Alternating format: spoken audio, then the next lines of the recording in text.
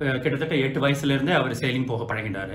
மூணாவது ஸ்டாண்டர்ட் பள்ளிக்கூடத்தில் படிக்கும்போதே மெட்ராஸ் ஹார்பரில் போய் அவரோட அப்பா அம்மா அவருக்கு உதவியாக இருந்து அவரோட நெருங்கிய நண்பரும் உதவியாக இருந்து முன்னுக்கு வந்தவர் அவர்.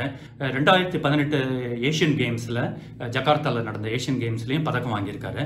அவர் அவர் வந்து ரொம்ப தன்னம்பிக்கை கொண்டவர் ரொம்ப விடாமுயற்சி கொண்டவர். அவருக்கு மனம்பூர்ந்த வாழ்த்துக்கள். கண்டிப்பாக அவர் வெற்றி பெற்று மெடலோடு திரும்புவாருங்கிறதுல எனக்கு சந்தேகமே இல்லை.